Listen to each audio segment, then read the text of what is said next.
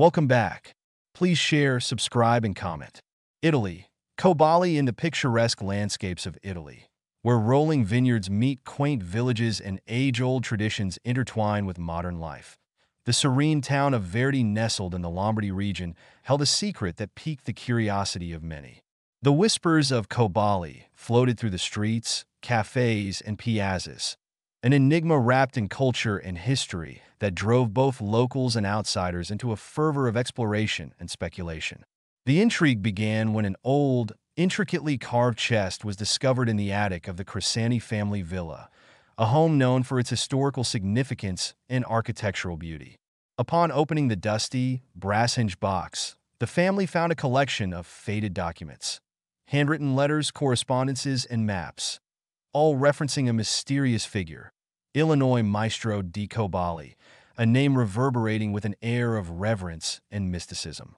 As word of the discovery spread, historians and amateur sleuths alike flocked to Verdi, compelled by the magnetic pull of the Cobolli mystery.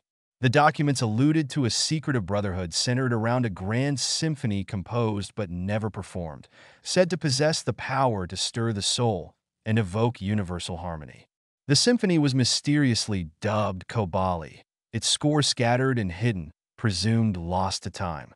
Intrigued, a young musicologist named Sofia Rossi arrived from Florence, carrying with her a passion for unraveling musical mysteries. Sofia's grandmother had told her tales of a legendary symphony crafted in Italy's golden age of opera, a masterpiece that transcended notes and reached into the realms of the divine. Sofia immersed herself in the faded documents, each page a portal to the past. She discovered that Il Maestro di Cobolli was Giovanni Battista Cobolli, a composer whose brilliance was overshadowed by his abrupt disappearance and the subsequent dispersal of his unfinished work.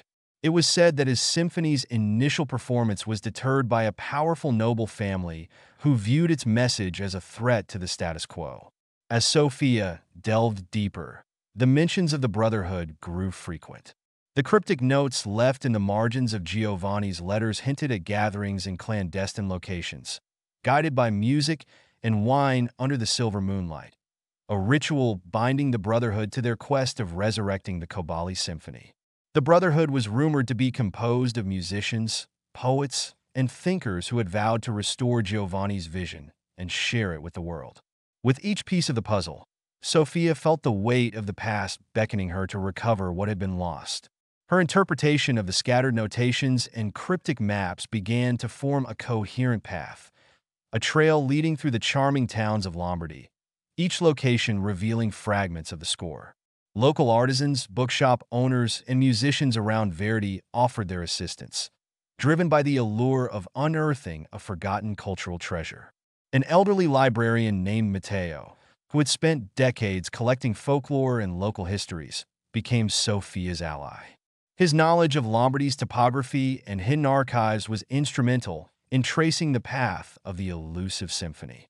One evening, the townspeople gathered in Verdi's piazza under the glow of timeless lamplights and the shimmer of countless stars. Musicians from all over the region joined Sofia, preparing to perform the fragments they had painstakingly pieced together. As the first note lingered in the air, a collective hush fell over the crowd, a harmony audible only to those who dared to listen.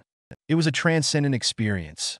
As the music flowed, an ethereal connection between past and present was forged, uniting the imaginations of all gathered. Each note of the Cobolli symphony resonated with the hopes, dreams, and struggles of those who came before transcending the barriers of time and inspiring a renewed sense of community and cultural pride. In the end, the search for Cobolli was more than a quest for a lost symphony. It became a journey of rediscovering identity and a testament to the enduring power of art to connect humanity, awakening a shared heritage buried within the soul of Italy. And as the final note drifted into silence, Echoes of Cobolli's legacy continued to inspire from that small, enchanting town, reminding all who heard that some mysteries enrich not just minds, but the heart's eternal rhythm as well.